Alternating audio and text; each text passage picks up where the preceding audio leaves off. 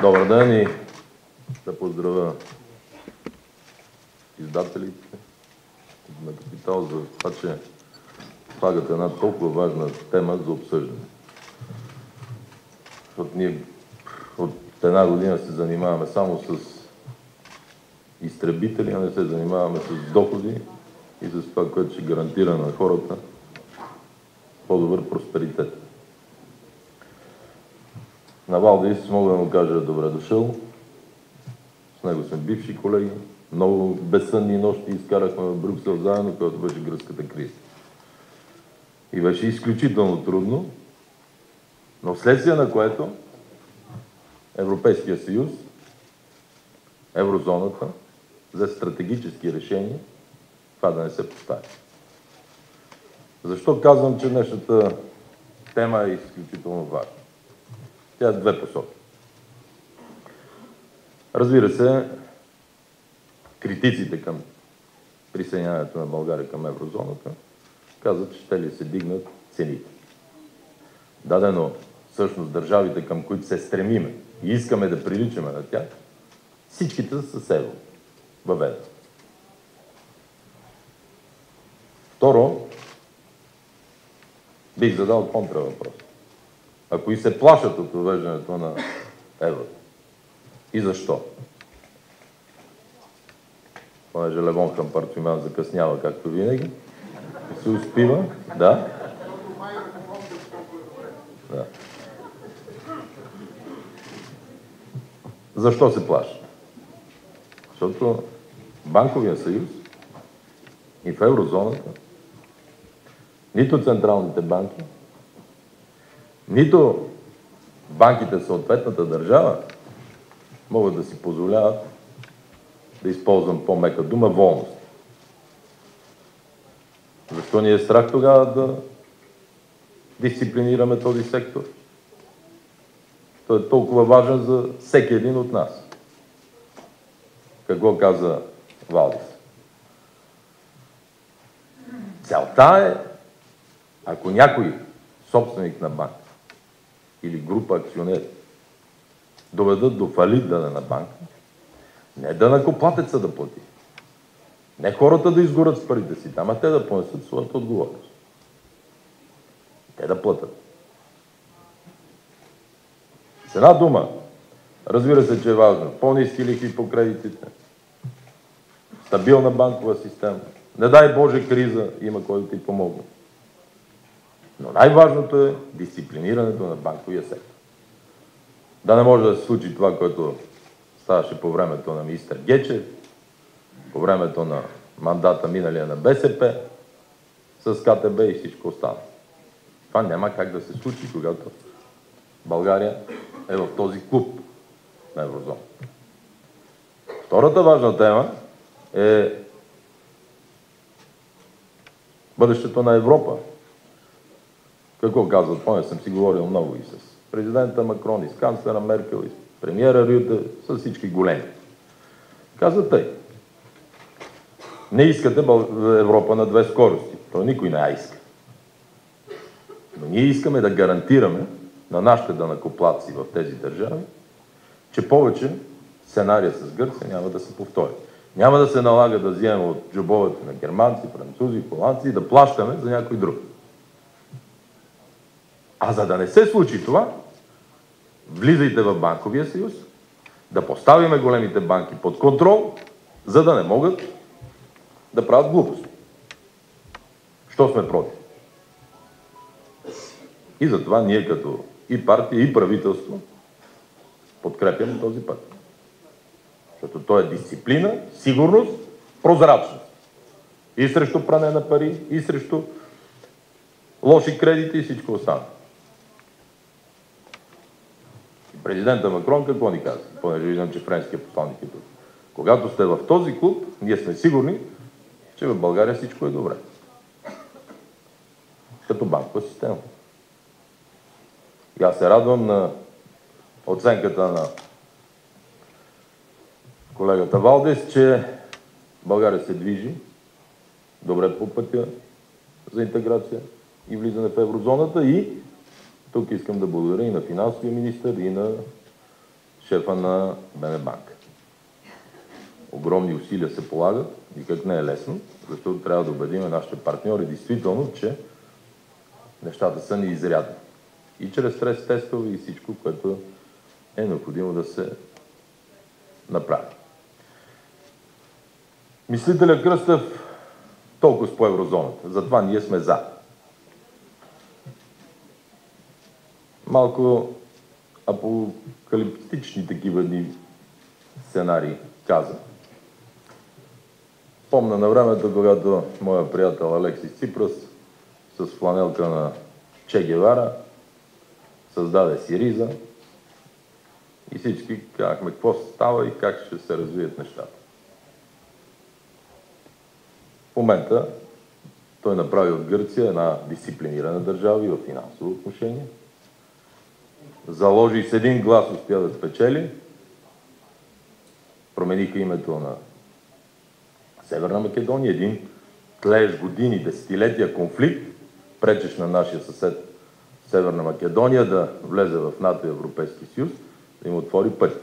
Разбира се, никога не трябва да се забрави във всяко свое обаждане на премиера Заев казва, че това да се случи, трябваше да се направи договор за добросъседство с България. Така че колкото принос има Гърция, толкова има и България в тази тема. Защото никак не беше лесно и много критици имаме и в тази сфера. Но ние го направихме, защото за нас е важно нашия съсед да бъде и в НАТО, и в Европейския съюз. Само след няколко дена тук ще бъде шефа на НАТО и мисля, че още веднъж ще потвърдиме тези свои думи. Какво ще се случи в Европа? Да, има много сценари. И най-модерното, господин Кръстев, е да се говори срещу бюрокрацията в Брюксел. Раздута, тромава, какво ли не. Само, че ако някой с малко поне опит в управлението седне и се замисли как можеш да координираш 28 държави, всеки със своите интереси, всеки със своите проблеми, всеки с милиардни фондове, без тази администрация, аз не, не си го представям. Така че аз искам да благодаря на колегите в Брюксел, защото, защото през всичките тези години България се възползва максимално от европейската солидарност. По време на нашето управление сме работили с абсолютно всички европейски фондове, без нито един да ни бъде спиран. Разбира се, нашите показатели, както и Домбровски сказа, са едни от малкото в Европа, които показват дисциплина. И това се отчита покриване на мастерските критерии. Единици сме държавите, които ги покриват. Но ако държави с много мощни економики могат да си позволят дадени луфтове, ние като сравнително малка економика не можем да си позволиме да бъдем недисциплинирани. Ще дам няколко цифри, за да бъда точен и те мисля, че са достатъчно показателни сравнени 2018 година към 2019 сега и 2014. Данъчните приходи са с 50% повече. Това означава много по-добра работа на приходните агенти. Сутринта нарочно се обадих на шефа на Асоциацията за, на индустриалния капитал, господин Велев, да го питам, тъй като неговата асоциация мери индекса за изсветляване на економиката, той каза, че и за тази година е убеден, че ще изсветлее още по което показва много по-добра прозрачност, много по-добра работа на системите. А външният дълг 2019 година ще бъде 18,6%. И ще ни нареди държавите с най-нисък дълг в Европа. Това са факти. Средната работна заплата, в сравнение с 2014 година, е нараснала с 47,5%. Брутният вътрешен продукт е нараснал в сравнение с 2014 година с 39%, близо 40%. Рекордни са приходите от туризма. Вчера излязоха. Рекорден брой туристи, понеже вице-премьера на комисията го отчете. Бих казал нещо и за инвестициите, защото много се спекулира. Аз обичам да работя с цифри и данни на институции. Какво казва Бенебанк? 2016 година 1 милиард и 3 милиона и 300 хиляди евро. 2017 година 1 милиард 389,6 милиона евро. Който е учил аритметика, знае, че това показва повишение на инвестиции в България. И трябва да ви кажа, че съм радостен, че инвестициите са в сферата на реалната економика.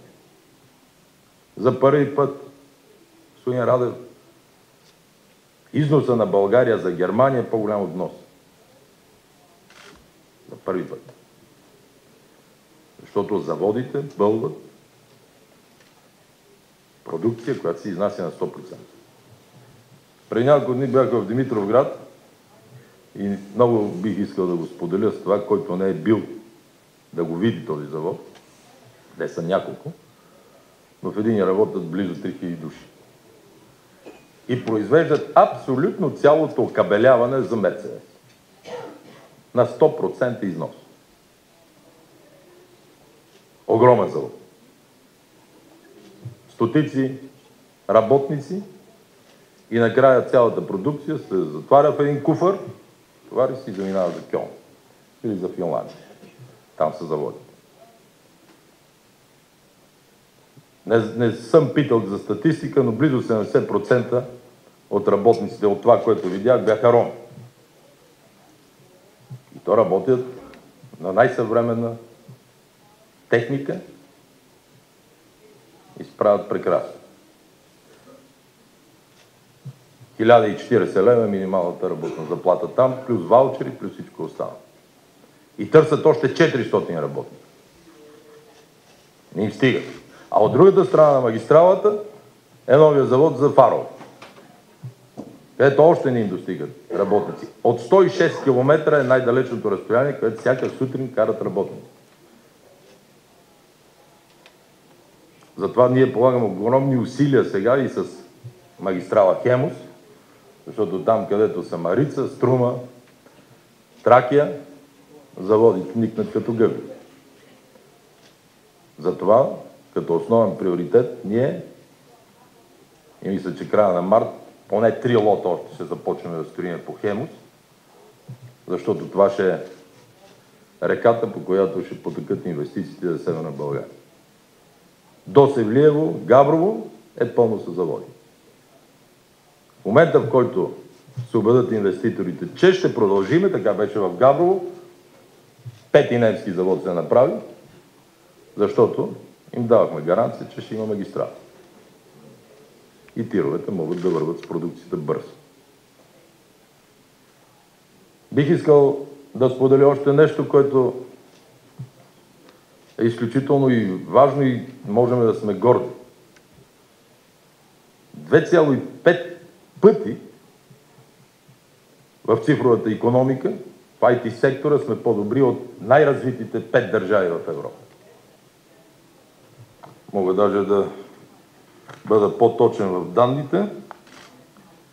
В дигиталната економика у нас расте толкова бързо на фона на европейските тенденции с над 2,5 пъти по-бързо, отколкото в пете големи пазара в Европейския съюз, Германия, Франция, Италия, Великобритания и Испания. И действително в IT сектора ние имаме 8,2% ръст, което, между другото, е една гаранция и голяма възможност за бъдеще, защото там има огромен потенциал. Сигурно още бих могъл да ви говоря, но аз съм сигурно, сигурен, че европейците, колкото и да са критични към нашия Европейски съюз, по-добро място за живеене няма. По-стабилно място няма. По-висша степен на демокрация няма. И действително, когато сте 27 или 28 на една маса, това, което каза Кръстев, всеки трябва да знае проблемите на другия, да се образява с тях и да търсим общо европейско решение. Според мен е грешно да се върви на такива плаващи коалиции, защото те много често водят до негативен ефект. С договора си Франция и Германия показаха, че трудно ще допуснат това. Защото вие сте и работодатели, имаме хубава българска поговорка, който дава парите, поръчва музика. Огромни пари се изливат в еврофондовете.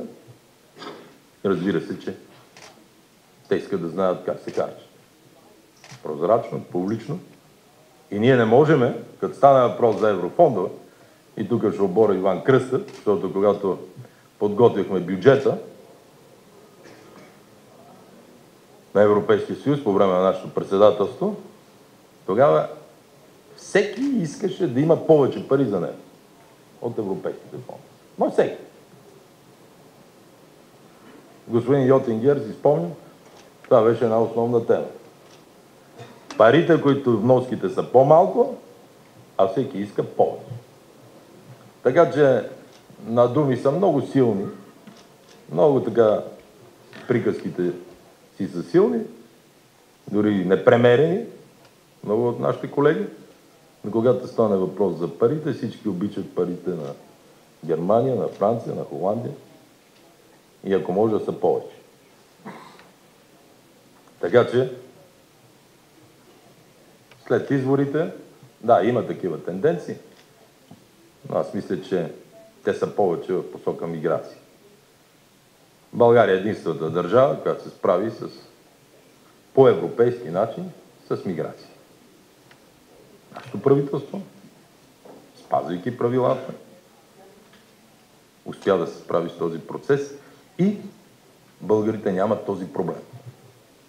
Ако всички държави го бяха направили, така своевременно, бяха водили своята външна политика по начина, който България води, нямаше да имат проблеми. Споразумението с Турция за България работи прекрасно. Предпазните съоръжения, граничните полицаи, флотата ни, армията, която изпращаме там, се справят прекрасно.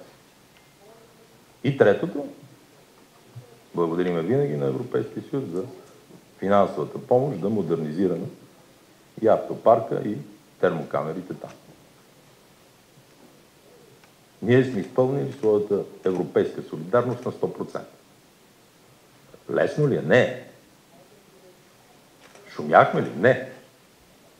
Свършихме си работата и доказахме, че може външна граница на Европейския съюз и то на края на Европейския съюз, на границата с Турция да се пази по въпросно, въпросно, възможно най-добрия начин. И за финал, като оценка на това, което сме направили, Световната банка взе решение аутсорс центъра за света да бъде в София, което ще веде до още 200 високотехнологични работни места, а разбира се и това е достатъчно, за да можем да считаме, че престижа на България в момента е такъв, че именно тя да бъде избрана. Присъединяването на евро към еврото ще е дълъг процес. В... Преди да стигне до 2022 година, ние ще имаме избори. И въпросът ми е следния. Имате ли стратегия как да осигурите стабилното поведение на България към тази дата и в последствие? В условията на доста, как да кажа, конфронтирана опозиционна среда в България в момента, може да се окаже, че при разместване на политическите слоеве, някой да спре процеса. Е така от чист мрак, нали, да се бута България към източната част от държавите.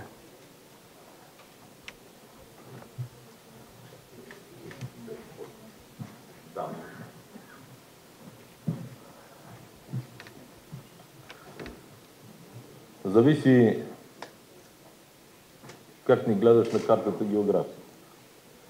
Ние сме най-на запад от изток и най-на изток от запада. Зависи от къде да завъртиш карта. Да, като центъра на света. Първо изборите са си избори и там ще си проличи и отношението на хората и разбира се, всяка една партия какво предлага. Защо и кой може да спре ли? Дали на някой му е приятно, че контрабандата на цигари от 34% падна под 5%?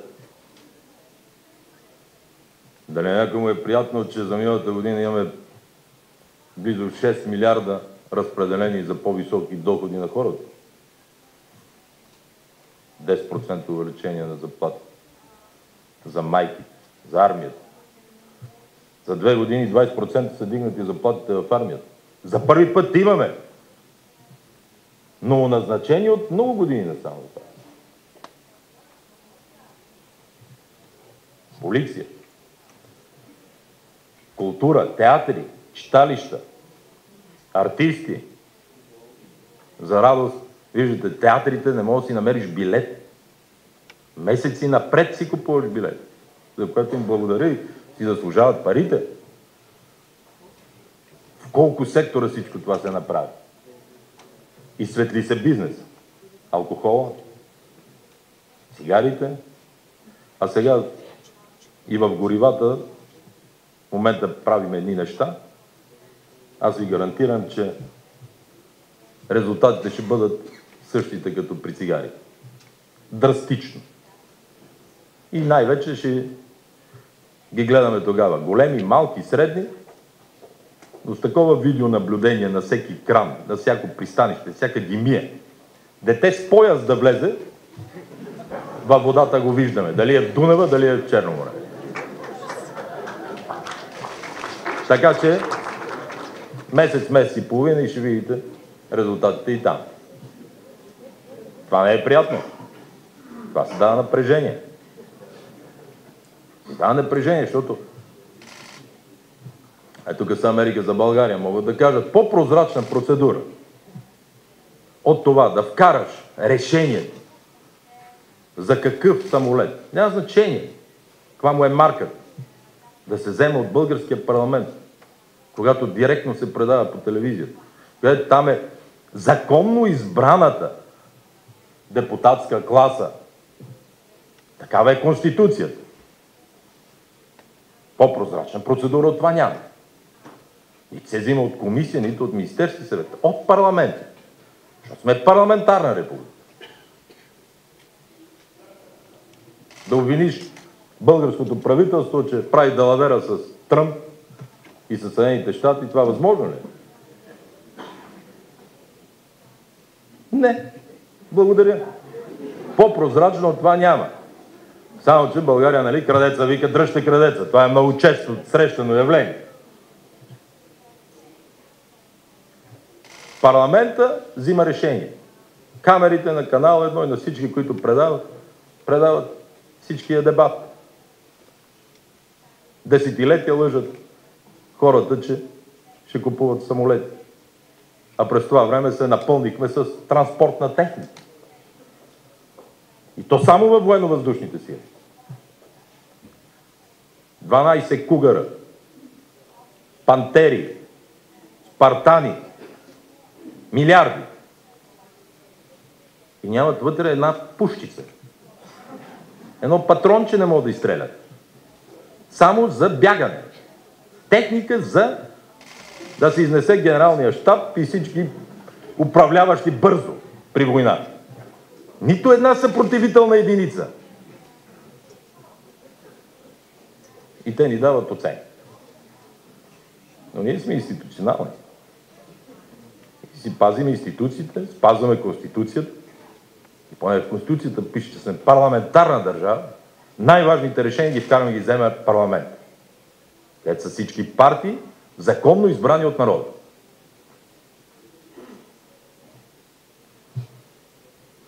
Ако някой иска режим, да го направи. Ние искаме демокрация. И я спазваме. Така че, убеден съм, че кръците, убеден съм, че тези, които им е хубаво да си ползват банките, да си финансират частния бизнес. Безконтролно. Ще бъдат много против. Ще се ложат пари срещу нас. Може и банкери да излезат на протест. Всичко е възможно. Но ние сме длъжни да правим правилните неща, както би казал господин Прокопов.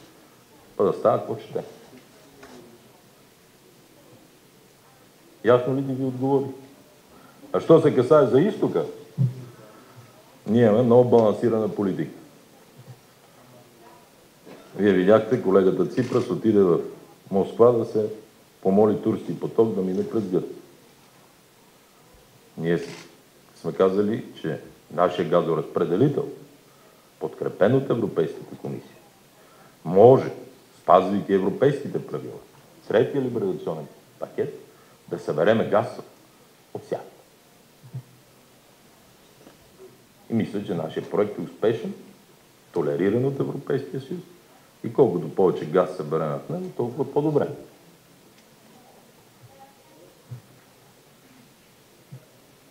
Изтока не е страшен за нас. Там имаме много партньори, то не е само Русия.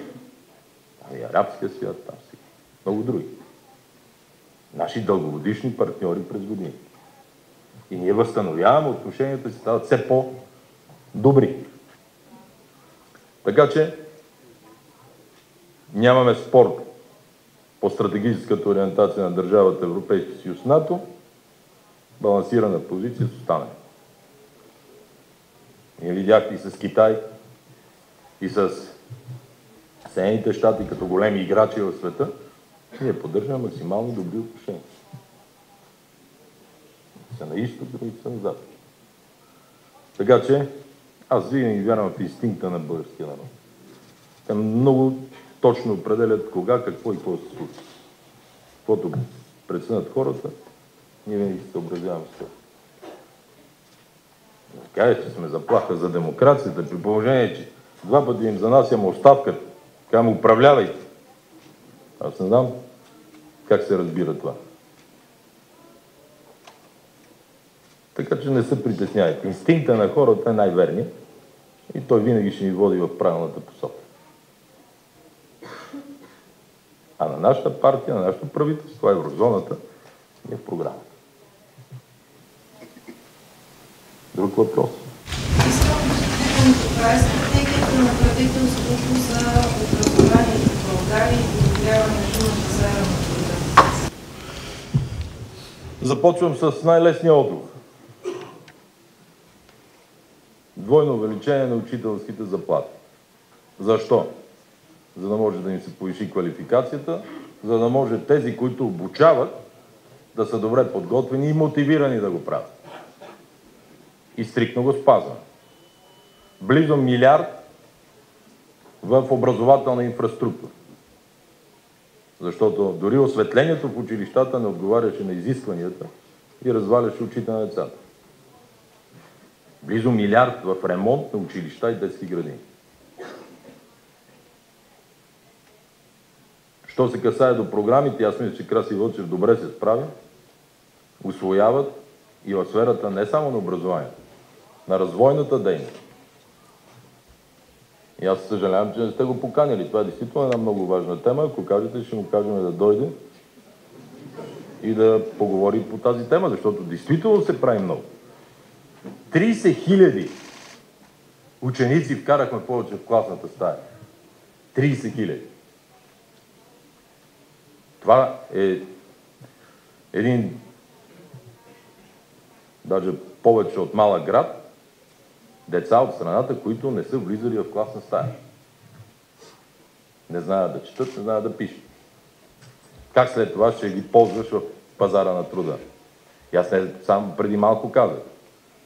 И на японеца, който беше в Ядзаки, как дигай още. Той викам, 1040 лева ми е минималната заплата. Викам, дигайте още, за да връщате тези българи, които са отишли в чужбина, когато взимат подобни на Европа заплати, ама тук са им семействата, къщите, приятелите, те ще се върнат. 106 км карат работници, ви казвам. А, ще продължиме в пълен обем. Дори тук е езика на омразата, това, което непрекъснато се насажда, тази омраза между етносите. Това също е проблем. И тук и едните и другите имат своята полза, политическа, особено като наближат избори. Това е ресурс, работна ръка, която голяма част от българските роми работят и не случайно дадох пример в Димитровград. Отидете и вижте. Сирич може да се квалифицират, могат да се накарат да работят. И това трябва да върви паралелно с принудата децата да ходят на училище и това да бъде обвързано с помощ. Ние не ги караме да правят нещо лошо, а да учат.